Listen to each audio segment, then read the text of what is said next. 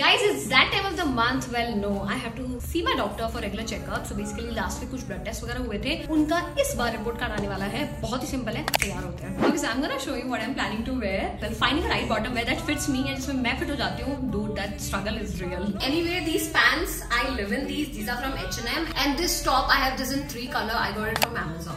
Well guys, clearly मैं metal shopping से बच रही हूँ और पैसे बचा रही हूँ। ना with this shirt I am trying to basically replicate this look और अगर मैं ऐसे 10 परसेंट भी लग गई ना फाइनल लुक में वो क्या कहते हैं? मैं सफल हो जाऊँगी।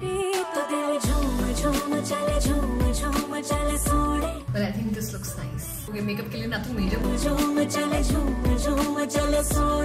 But this Kiro lip oil looks really